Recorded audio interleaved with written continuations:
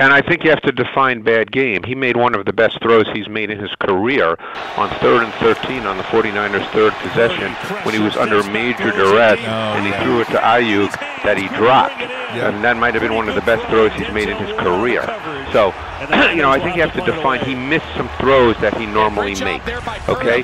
Uh, by the way, uh, one of my guys went through Joe Burrow this week and said he missed eight throws that were routine throws. So now, do we want to say Joe Burrow is a fraud? I mean, you have to be careful about how you decide what you're saying about this kind of stuff.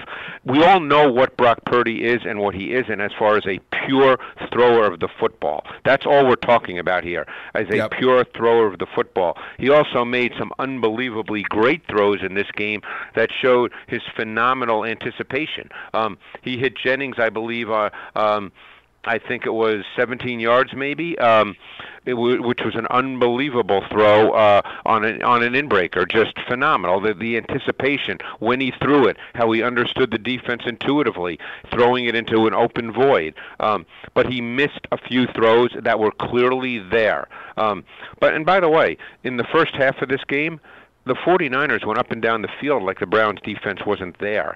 So this idea that the Browns defense just showed you something or dominated the 49ers, the tape did not show that at all.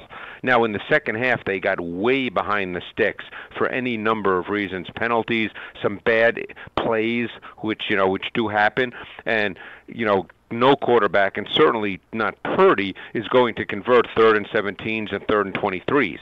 That's Yeah. just not going to happen.